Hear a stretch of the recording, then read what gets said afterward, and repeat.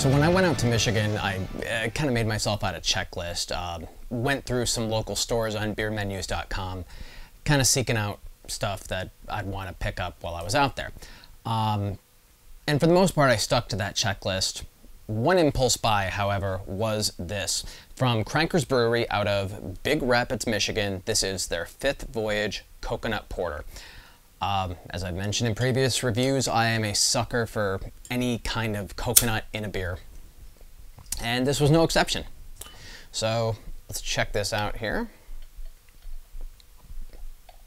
And of course I love porters, so why not? a nice dark color there. Nice, nice thick head on that too. Beautiful looking beer right there. And you get that nice blend of chocolate and coconut right off the aroma there. Um, not overbearing, nice blend. Let's see if I can get through the head here. Nope, that was a mouthful of head. Um, mostly roastiness kind of in that one there. But let's get down to the actual beer itself.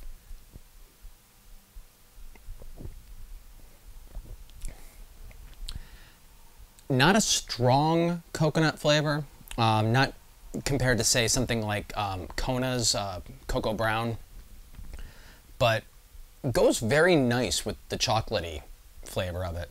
And you get that kind of bitter roast on the back end. Um, and as, as a porter, it's, it's very nice and creamy, not too heavy-handed. Um, I, I, I rather like this one. This is um, this is a pretty drinkable one. The ABV on this one is 6.1%, uh, so not not too high, not too low. Um, just in that sweet spot for a porter, I'd say. You know what? Second sip there, I'm getting the coconut right out in the front a little bit more. So I think this is another one of those kind of drinks where the flavor will kind of evolve and uh, progress a little bit more the more sips you have. And each sip will bring the flavor to the forefront a little bit more kind of as your taste buds adjust to it.